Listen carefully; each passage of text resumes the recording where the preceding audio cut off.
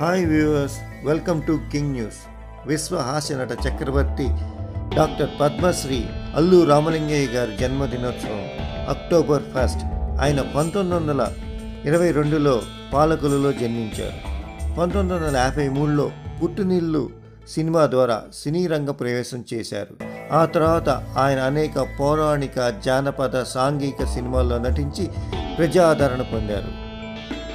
ఆయన బర్త్డే సందర్భంగా king news birthday wishes తెలియజేస్తుంది happy birthday doctor Allu Ramalingaiah garu